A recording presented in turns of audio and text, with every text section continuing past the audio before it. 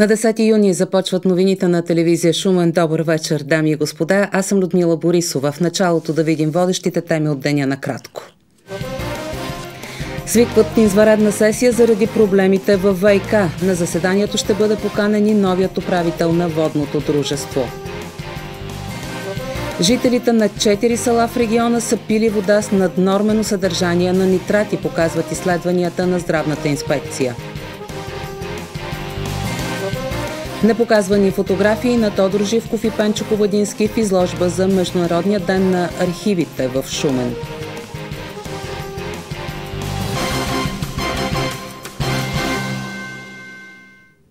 Подробностите за тези и още новини сега в емисията.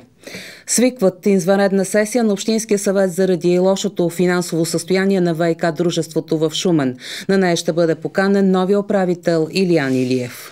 По време на сесията Общинският съвет ще реши дали да приеме заключението на аудита на водното дружество, който потвърждава лошото му финансово състояние. Преди това съветниците искат отговори на няколко въпроса. Какво се случва с проектите, които предстои ВИК да реализира по водния цикъл в Шумен?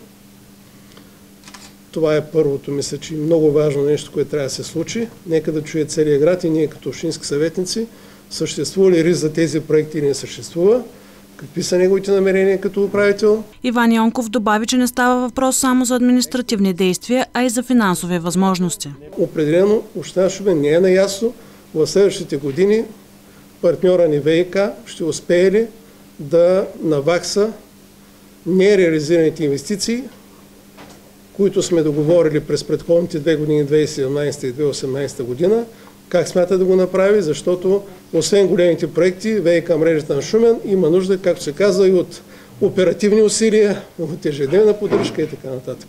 Наистина в ВИК сектора в Шумен от години има проблеми. И проблемите са драстични. А, за съжаление, всички отчети, които представят до сега ВИК, показват само едно, че дружеството върви все по-надолу и по-надолу. Адвокат Метин Джамбазов повдигна въпроса за нарушеното водоподаване в селата Вектово, Ивански и Друмево. На 17 юни ще се проведе и общото събрание на съдружниците във ВИК, където ще бъде разгледан аудита на водното дружество. Жителите на четири села в региона са пили вода с наднормено съдържание на нитрати. Това показват резултатите от регулярните изследвания на питайната вода в Шуменска област. Най-голямо съдържание на нитрати над допустимата норма от 50 мг на литър е отчетено в питейната вода на село Овчарово – 98 мг на литър. Отклонение има и в пробите взети от селата Боян, Борци и Мараш. Там превишенията са в границите от 2 до 33 мг над нормата. За сравнение, съдържанието на нитрати във водата от обществената чешма на улица Янко Сакъзов в Шумен надвишава максимално допустимата стойност с 6 мг на литър. През изминалия месец месец в областта са регистрирани 24 случая на чревни инфекциозни заболявания. От тях 21 ентероколити, един заболял от колиентерит и два случая на салмонелоза. Не е установена причинна връзка между качествата на питейната вода и регистрираните чревни инфекциозни заболявания, съобщават от здравната инспекция. Областен съвет за хората с увреждания беше учреден в Шумен. В него влизат представители на местната власт, на работодателските организации и институциите, ангажирани с прилагането на различни политики, свързани с интеграцията и осигуряването на равни възможности за лицата с увреждания. Председател на новоучредения консултативен орган е заместник областния управител Ширин Вели, а заместник председател Иванка Казакова, която е начало на регионалната организация на Съюза на инвалидите. Основен акцент на първото заседание беше поставен върху закона за хората с увреждания, на база на който от 1 април дирекциите социално подпомагане изготвят така наречената индивидуална оценка. Индивидуалната оценка е комплексна, и въжи за абсолютно всички институции. А, на практика, с правилника, който от 1 април 2019 година, вече такива индивидуални оценки се изготвят, като те първо ще видим какъв ще, ще бъде ефекта. Пет основни теми ще бъдат разглеждани от Областния съвет за хората с увреждания. На първо място е осигуряването на достъпна жизнена и архитектурна среда. Това за нас е важно и мисля, че това е много болезнена тема, много важна, защото достъпността поражда вече следващият живот на тези хора, а именно това са образованието и а, преквалификацията, което е следващата тема, нали? както и трудовата заетост, профилактиката и рехабилитацията и социално-економическата защита на хората. В хода на дискусията Владимир Паскалев от Конфедерацията на работодателите и индустриалците в България постави въпроса за квотите, определени за хора с увреждания в фирмите и предприятията. По предложение на народния представител доктор Румен Генов, който е член на парламентарната комисия по труда и социалната политика, на следващото заседание ще бъде обсъдена темата за реформирането на ТЕЛК. По-конкретно възможността две отделни комисии да освидетелстват хората с увреждания, като едната издава медицинската експертиза, а другата ще оценява процента трудоспособност. Международният ден на архивите беше отбелязан в Шумен. По повод празника, отдела на Държавния архив отвори врати за посетители.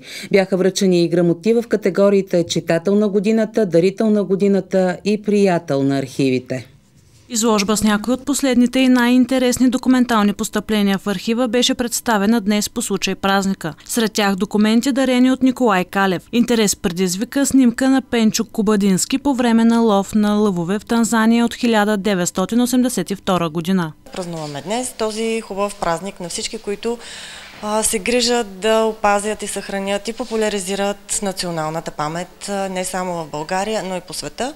Началникът на архива Антония Панева връчи грамоти приятел на архивите на Радио Фокус, дарител на годината на Николай Калев и читател на годината на преподавателя по история Андрей Соколов. То ми се ще да призова по-младото поколение, което минавайки по крайоградата на сградата, ако направи само една крачка в страни, ще попадне в един свят, таен, но много интересен, и в рамките на един живот ще може да изживее десетки други животи. В деня на отворените врати в Държавния архив ученици от второ основно училище доктор Петър Берон имаха възможност да разгледат богатството, наследството и културата, съхранена в Шуменският отдел.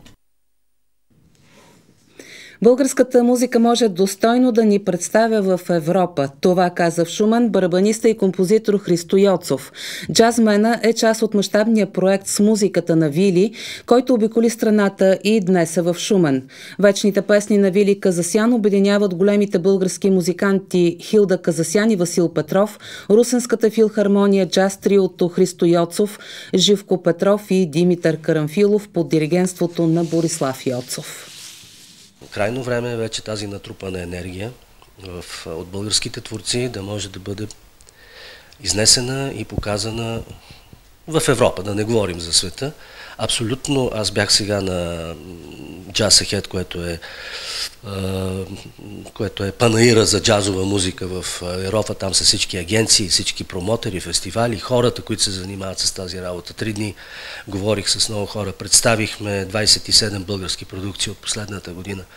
Ние изобщо не сме зле в цялата музикална тъкан на Европа. Единственият проблем е, че никой не знае за нас. Цялото интервю с джазмена Христо Йоцов гледайте утре в предаването Добър ден, Шуман, веднага след обедните новини. И сега за едно съвременно изкуство. Графити артисти преобразиха парк студентски в първия стрит арт фестивал Шумен и Буден. Тридневният празник на изкуството и спорта включваше още стритбол и байк турнири, танцови демонстрации и много музика. Организатори на проявата бяха Общинския младежки съвет и Община Шумен. Над 30 от най-добрите графити артисти в страната събра в Шумен първият фестивал за улично изкуство. Стрит художниците овладяха парк студентски и оставиха уникалния си отпечатък за ценителите на красивото. Творя неща, които са свързани с природата, обаче ги преобразувам чрез въображение. Включих различни елементи, които типично рисувам и въплащавам в творбите си. Някои, които се вдъхнових от това, което Организаторите ни подадаха няколко ключови думи, свързани с шуменското плато, флората и фауната, която се открива. Графити е емоция. Изкуство, което провокира и вдъхновява, предизвиква и омагиосва. Когато бях на 15 години и започнах да рисувам, беше вълната на хип-хопа в България, в която графити е част от тази субкултура. И дружах с хора, които ме вдъхновиха. Това е много и физическа дейност, освен интелектуална да го измислиш, да, да го нарисуваш във всяка една стъпка, да си концентриран. 24-годишният Дамян Николов е създател на първото безплатно училище за графити изкуство във Варна. Вече 10 години се развива и усъвършенства, за да утвърди себе си като артист и творец. Динамичното рисуване е началната, началната страст, след това започва а, постепенно да се вникват в детайли, започват да се създават различни стилове, всеки започва да се утвърждава сам като артист и може би това тласка хората да се развиват в тази култура. Резултатът от работата на художниците разгледа и заместник кметът Найден Косев, който посети фестивала в неделния ден. Виждаме, че това има бъдеще и че тази а, проява дава възможност на всички нас и по-възрастните да оценяваме инициативността на младите хора организирани по този начин, за да могат да формират и ценности от тях. Десетки деца и младежи участваха в BMX и паркур демонстрациите, в турнирите по стритбол и състезанията с тротинетка. Мисля, че успяхме да привлечем младежите в Шумен и да покажем, че градът ни може да бъде шумен и буден. Мисля, че е нещо, което се заслужава да бъде доразвито и надградено в следващите няколко години. За победителите в състезанията и участниците в графити пленера бяха предвидени грамоти и награди. Хаги.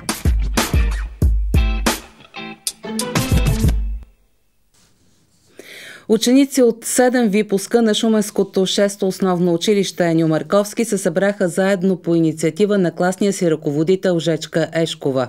В двора на учебното заведение бяха засадени 7 кипариса, символ на всеки от випуските. Те призоваха начинанието им да бъде продължено, за да остане следа в историята на училището. Близо 30 самодейни състава представиха богатството на българския фолклор в тази годишното издание на регионалния събор Кирека пее и танцува. Звучни ритми и народни песни се понесоха над красивата местност край Мадрските скали, завладявайки сърцата на млади и стари. Традиционният събор Кирека пее и танцува откри с приветствие и благодарност към всички ревностни продължители на българските традиции, кметът на община Каспичан Милена Недева.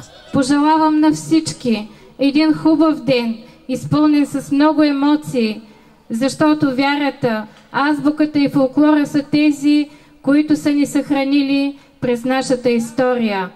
Обявявам днешния празник Кирека пее и танцува за открит. Нека фолклорното богатство бъде извор на радост и да ни сплотява, каза в словото си председателят на Общинския съвет Анелия Ангелова. С първите аплодисменти публиката награди домакините от фолклорна група Кехлибарена Огърлица към Народно читалище Пробуда, град Каспичан. Тези празници винаги носят едно добро настроение и самочувствие, че сме българи, които предаваме от поколение на поколение своите традиции. Носят само радост и веселие. Нека да са здрави всички хора по света. На откритата сцена самодейци от цяла северо България редуваха кръшни хора и народни песни от Китна Добруджа, Родопите, Странджа, Пирин и Тракия.